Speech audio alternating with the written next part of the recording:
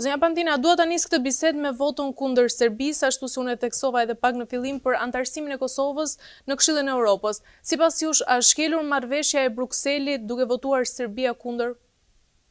Në mendimin tim, ka shkelje të marrëveshjes, sidomos asaj të fundit që ne e cilësojmë si marrëveshja e Ohrit, ndonëse mendimin për këtë duhet ta japin ndërmjetësuesit, pra ata që e kanë ndërmjetësuar dhe negociuar marrëveshjen. Nuk është pritur që Serbia do të votojë pro anëtarësimit të Kosovës në Këshillin e Evropës, por të paktën të mbante një qëndrim të heshtur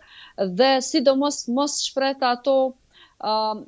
që në sytë e mi janë kërcënime që i bëri sidomos ndaj Malit të Zi dhe vendeve tjera të rajonit. Mhm.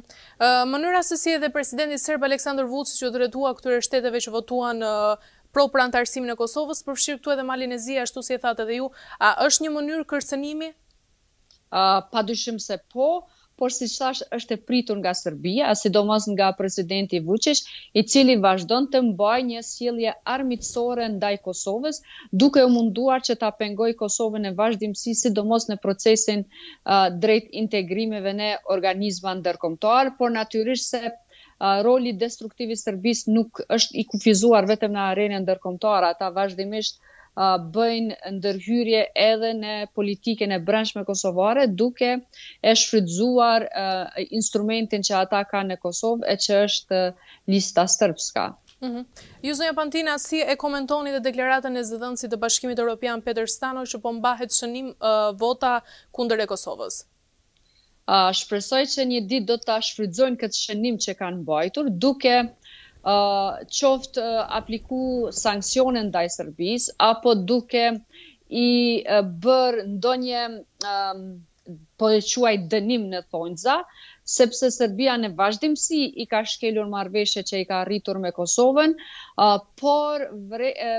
kryesisht ka mbetë në nivelin e vërejtjeve që ka marrë, sidomos nga Bashkimi Evropian, ndonëse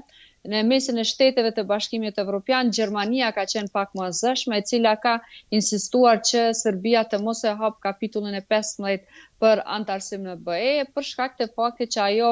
jo vetëm që nuk e njeh Kosovën, por vazhdon, siç thashë edhe më herët, të ketë një qëndrim armiqësor, duke penguar integrimin në organizma ndërkombëtarë, por po ashtu duke penguar edhe integrimin e qytetarëve serbë brenda Kosovës. Mhm. Mendoni se këtë herë Bashkimi Europian dhe SHBA-ja kanë në dorë që ta çojë këtë çështje drejt normalizimit të marrëdhënieve midis Kosovës dhe Serbisë? Shiqo, procesi është në duart e Kosovës dhe Serbisë fillimisht, duhet këto dy vende, pra ne dhe Serbia të tregojmë vullnet se ne duam t'i normalizojmë këto raporte, Serbia duke e njohur realitetin tashmë që Kosova është shtet i pavarur dhe Kosova duke qenë më proaktive për të ndihmuar integrimin e qytetarëve etnikë serbë në Kosovë. Natyrisht ata i gëzojnë një numër të madh të të drejtave, bile edhe në asimetri në krahasim me grupet tjera etnike që jetojnë në Kosovë, por mendoj se ne duhet të bëjmë më shumë që ata ta ndjejnë Kosovën si shtetin e tyre, sepse një pjesë e tyre, e sidomos ata që jetojnë në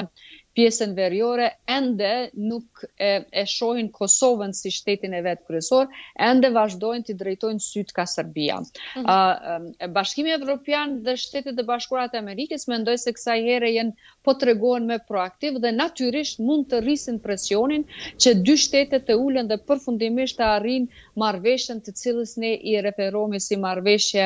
përfundimtare e ku më në fund shtetet do ta njohin uh, ekzistencën e njëra-tjetrës, ndonëse Kosova nuk e ka kontestuar asnjëherë ekzistencën e shtetit të Serbisë, është Serbia ajo që e konteston, por më në fund të